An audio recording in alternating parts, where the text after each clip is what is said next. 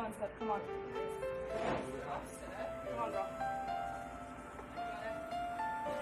Steph Aiello has faced some nearly insurmountable challenges at a very young age. The 26 year old makeup artist was involved in two debilitating car accidents within two months of each other that changed her life forever. When she was 20, Steph was returning on a road trip from Las Vegas when she fell asleep behind the wheel. Tragically, one of her best friends died in the crash and would end up leaving Steph a quadriplegic, paralysed from the waist down. After spending months in hospital recovering, Steph was again involved in a car accident as her family's car was hit by a drunk driver.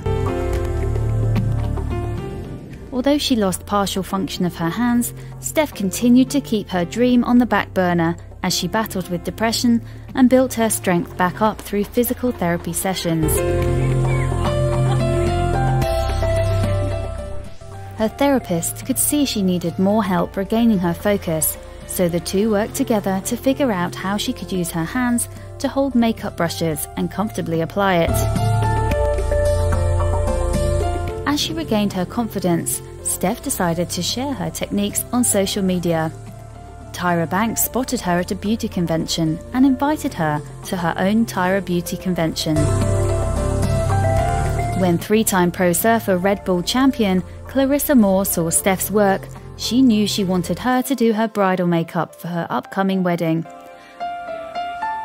We can't wait to see what other gorgeous looks Steph creates in the future. This is Nikki Delgado for NollyGrio.com.